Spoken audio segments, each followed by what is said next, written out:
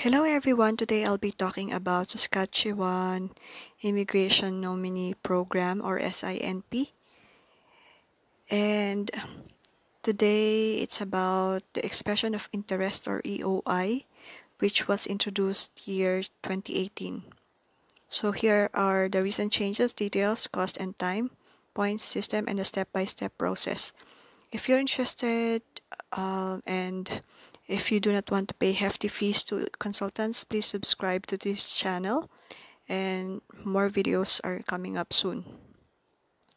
SINP category, we have four categories. One is International Skilled Worker category. This is for the skilled workers abroad who want to work and live in Saskatchewan. Second is Saskatchewan Experience category. This is for foreign nationals who are currently living and working in Saskatchewan. Third is the entrepreneur category. These are those who want to start a business in the province and the farm category for experienced farmers who want to buy and operate farm in Saskatchewan. So today we'll be talking about the international skilled worker category because I believe that this is uh, more applicable to uh, many immigrants. For international skilled worker category, there are sub three categories, three subcategories. One is the occupation in demand or OID, second is Saskatchewan Express entry, and the third one is employment offer. This is for international skilled worker with an employment offer from Saskatchewan, so you will need LMIA. So today we'll be talking about two subcategories, occupation in demand and the Saskatchewan Express entry.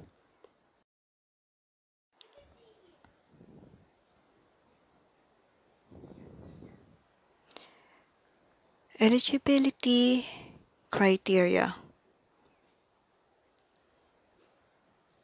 So here we can see that there are differences and similarities between the two subcategories. One is Express Entry profile. For Saskatchewan Express Entry, you are required to create a profile in the IRCC website. Unlike in the occupation in demand, you don't need that. Second is minimum language score, which is CLB 7 is the minimum required. And for OID is only 4. Minimum education is the same for both, either degree, diploma, or certificate, and minimum one year long. For minimum SINP points, um, for both subcategory, you are required to um, score 60 out of 100. For the experience in SINP in demand occupations, you are required um, to have an NOC of 0, A, or B for both subcategories. For the minimum job experience, you are required to have one year in the past 10 years in that skilled profession.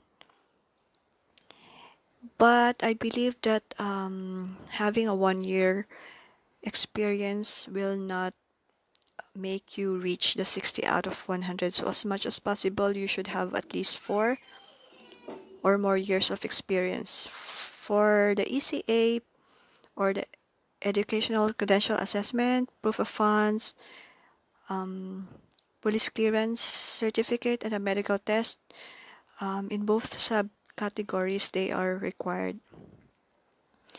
And for the proof of professional status or licensure, you are required to provide for the specific occupations so please check the link in the description box. Other differences is that the authority who approves the application is um, the Government of Canada for the express entry and the Government of Saskatchewan for the occupation in demand. The processing time is much less in express entry. New expression of interest system. So it is not an application to the SINP, but it is a pre-application process which allows candidates to fill in an online form to indicate their interest in applying to the SINP. and demonstrate their qualifications.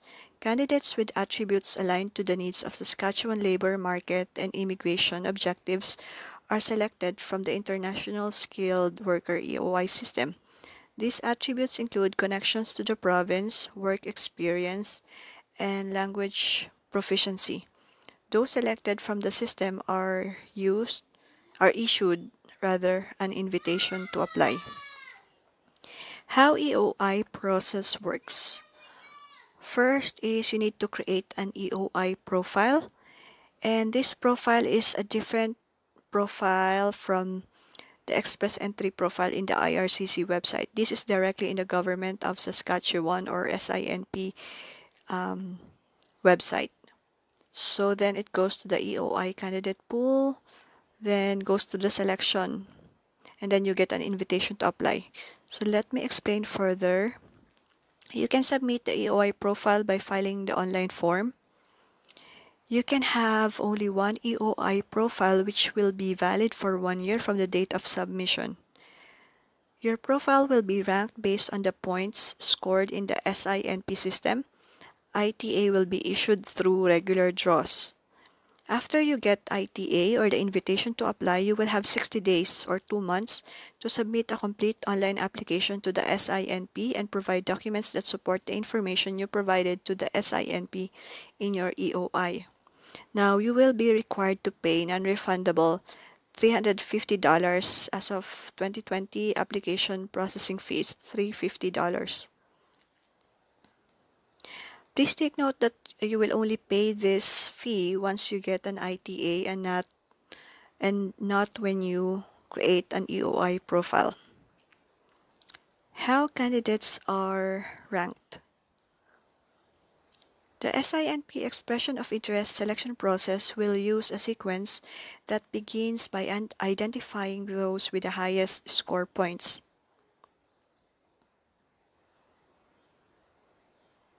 To select among those with equal scores, candidates with connections to Saskatchewan will be chosen first.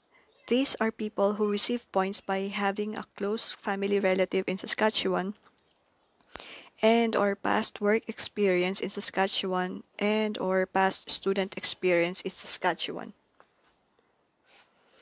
So if you have a close relatives and um, previous work experience, then you are given a priority.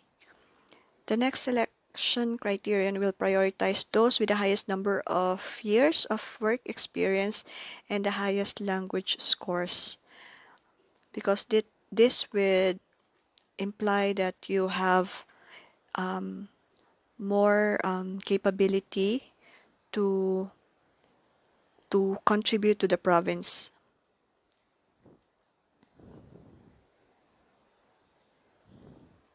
So I'll be showing you the website where you can find the point assessment grid.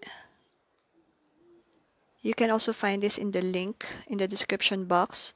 So for the education and training, the maximum points that you will have is if you have a master's or doctorate degree, if you have a bachelor's degree or three or more uh, years of um, degree program, then you have 20 points. If you have a trade certificate, then it's equivalent to 20 points.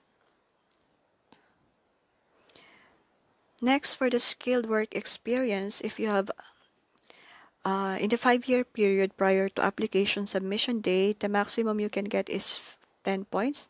If you have a five-year experience, when you start uh, applying this 2020, then it means um, from 2015 to 2020. That's the bracket where you can get 5 points. But if you have more than that in the 6 to 10 year prior um, work experience to your submission date, let's say 2010 to 2020, then you have um, 10 points. Now for the language ability, and the maximum you can get is 20 points if you have CLB of 8 and higher, 18 points when you have CLB 7.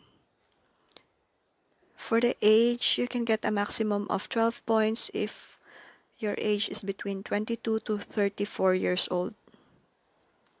And if you have a relative in Saskatchewan, close family relative, then you get an additional 20 points. If you have past work experience, then you have 5 points. So, the maximum points total here is 100 and if you're able to meet 60 out of 100 then you are eligible to apply.